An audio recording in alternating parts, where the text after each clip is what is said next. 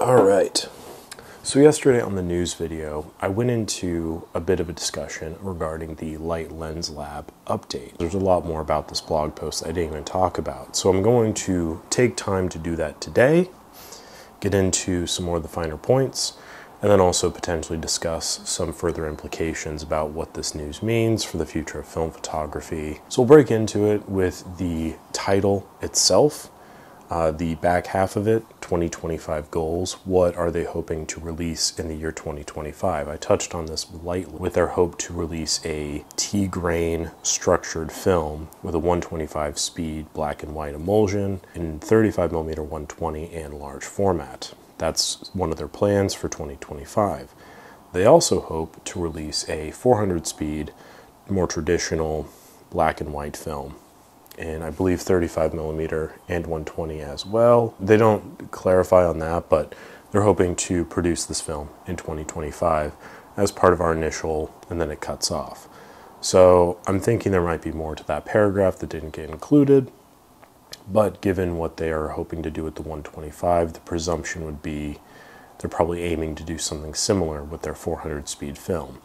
Think of something like HP5 in that regard, kind of a standard black and white 400 speed film. The other big item that they want to release in 2025 is their instant peel apart film. Now, this was one of the main things that people got really interested in this project because there's not a whole lot of peel apart film on the market.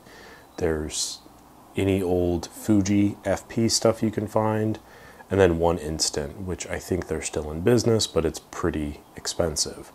There's no telling how much this is going to cost, but just for the fact that there's going to be other options on the market is exciting enough for people to get behind. But they're going to have an update on the packaging and the test shot in the next blog post for that. So that's something that if you're really into the peel apart film, I recommend that you keep your ears peeled for that because it could be coming up sooner rather than later.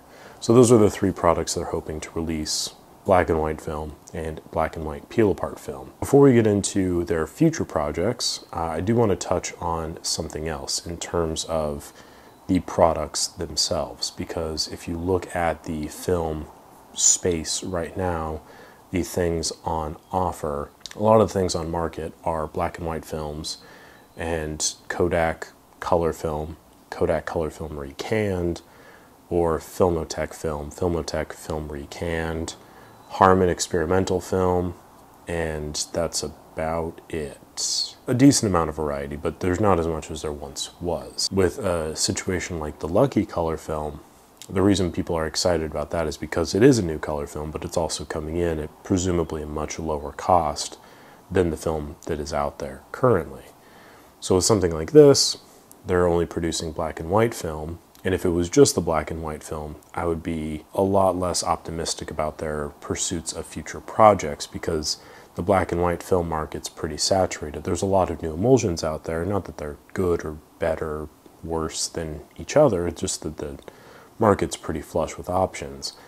And unless it's coming in at like $2 a roll or $5 a roll, point kind of remains of, well, I could get Kentmere, I could get Ilford, I could get Kodak, I could get any of these films that have name recognition that I've shot with before, and they're probably going to cost about the same, if not less, than newer films. I mean, you look at something like Ferrania, which is a film I really love, but Ferrania comes in at a pretty premium price.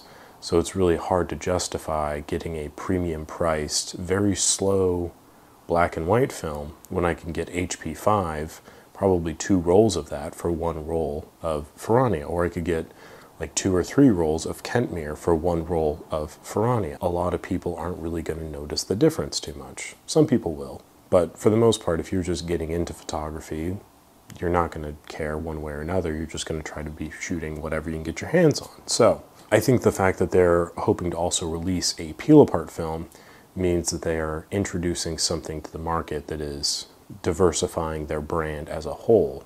And I think their pursuits of these more niche products, these more niche interests, ultimately will benefit them in the long run from just being another company that's like, oh, hey, here's another black and white film that we're making. Here's some generic color film that we're making. They're they're trying to do other things, which is pretty impressive and something I'm excited to see. From that point, they're also looking into motion picture film, developing that. And this was something I believe they covered in a previous blog post, but that would be very fascinating to see. I would love to see new motion picture film out there. For now, it's pretty much Kodak and Orwo, I think, are the only two companies that actually produce motion picture film. But the problem with it is, is the processing and scanning of it is still pretty expensive. So kind of comes back to I want to make sure that whatever product I purchase is consistent and can consistently deliver quality material. So do you want to take a gamble with a new product or do you want to just sit with Kodak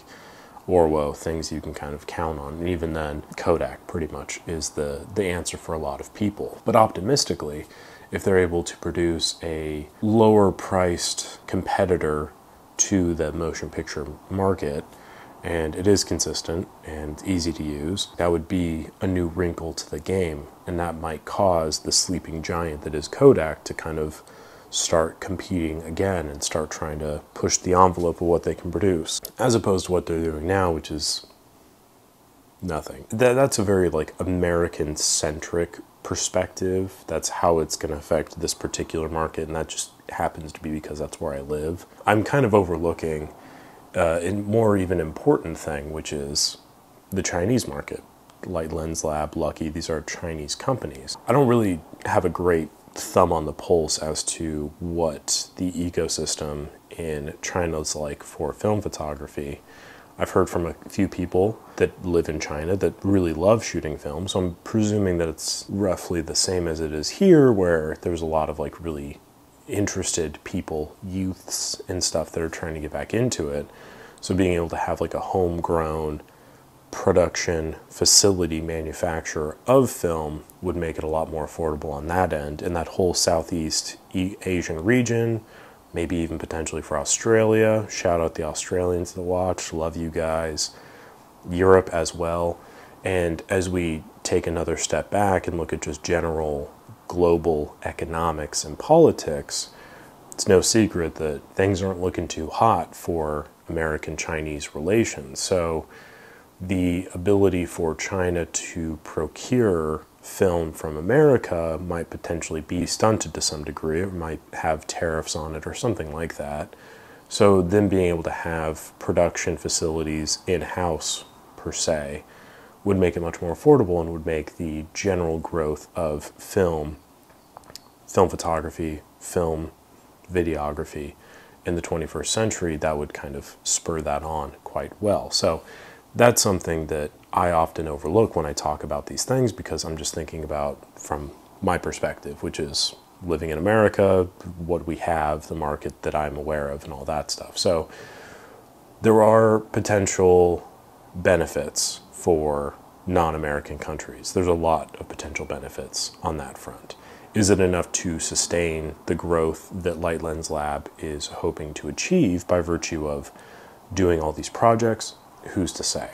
But the other thing that I want to point out very briefly, and it's why I have this lovely book right here, another thing that they talk about is potentially developing and delivering by 2026. I believe that they're operating on the lunar calendar, so I think that's more like eight months away technically, but still not very far off.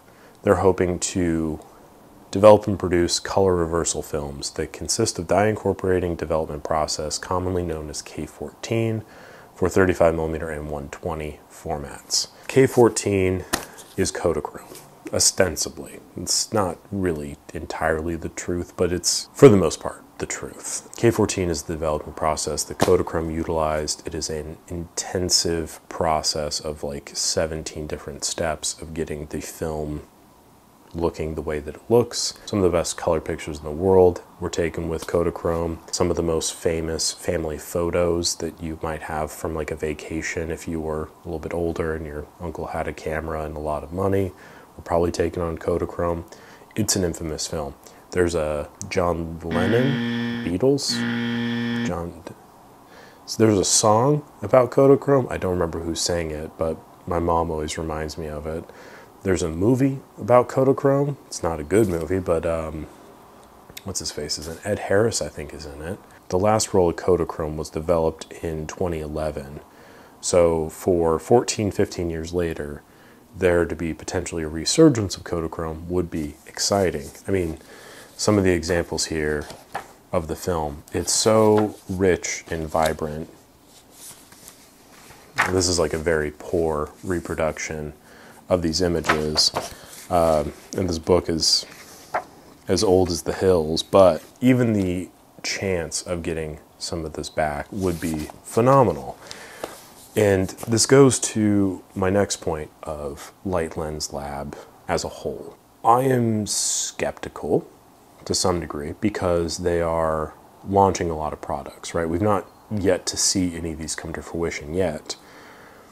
But they're like, oh, we want to do this, we want to do this, we want to do this, we want to do this. They came out the gate firing on all cylinders. These are all the projects that we have going. This is what we hope to accomplish. On one hand, that leads me to be like, I don't know how much stock I can put into any of this because I'm aware of the Ferrani. I'm aware of the Ferrania Kickstarter, okay? I'm aware of all of these like really hyped up, trumped up ideas of like what we can do to reinvent the film photography industry. Um, a lot of people come in with huge expectations and ultimately fall short of delivery because it's an expensive thing the knowledge is pretty much gone for a lot of this. The all of the stuff that go like it's just it's such a complex thing to even consider. But so you look at that and you're like, okay, they might get one or two of these things. They might develop a black and white film, but that's it, right? That. The other hand, though, is looking at this, and with each blog post, there are significant developments that they're making. There are major strides in positive directions. There, there seems to only be progress being made. And with each progress update, there's also, oh, and also we might try to do this too, which put on my psychoanalyst hat here really quickly, that would lead me to think that there is a lot of support within the team, right? because I've worked in places before where it's like I want to do X, Y, Z. I want to sort this, organize this, create a database, whatever. And I've worked in places where come in with those ideas and start working on it. And people are like, yeah, keep going. And it, it, it inspires you. You want to do more, right? It, it builds this confidence within you of like, I can do anything. Like with the right support, people can accomplish quite a lot. I've also worked in places where I want to do X, Y, Z, and it's like fighting uphill you know whether my idea is good or bad or whether it's someone else's idea that's good or bad there's just no support there's no communication so just nothing ends up getting done and it feels like this defeating thing.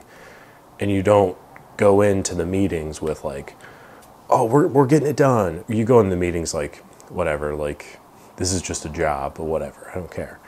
This reads to me as like a lot of passionate people that are passionately pursuing these projects. And I think that they recognize that there is a need for some diversity in these projects, but I also think that there is an element of like, what can we do? What can we do? And this goes back to the point I was making earlier, where if they're just releasing a black and white film, that's really cool, that's commendable, but that's not like a great way to stay in business for a very long time, if they're able to reproduce Kodachrome, they're able to produce peel apart film, they're able to produce motion picture film, they're able to produce, you know, color negative film, they're able to produce all these items, all these different things, they're consistent, they're affordable. I don't see how they can't be successful. There is going to be somebody, even if like the price is exorbitant, there's somebody out there that would want to shoot with some more K14 film there's someone out there that would be interested in getting K14 chemistry. I would be, just because I have so many rolls of Kodachrome that I was like, I'll just hold on to these because like there's no sense trying to sell it to someone. There's no sense in trying to shoot with it because you can't develop it. But now I can. And I mean, it's very old and expired, but still, it's like that's something. There's so much interest in this project. And I think like going through the images that they're able to produce, I was like scrubbing back through their back catalog of updates to find the, the cat picture with the halation. And I, cause I wanted to use that and like in contrast with their current images just to see the difference, right? And I was like shocked. I thought that that news came out in like November or something like that, or like October. Like I thought this was like kind of older news, but it was like February. Like it was a few months ago. and just to see the strides they made from that point.